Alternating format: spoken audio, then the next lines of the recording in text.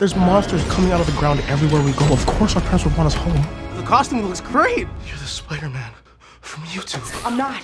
I'm not. Can I be your guy in the chair? Ned, I don't need a guy in the chair. Seriously?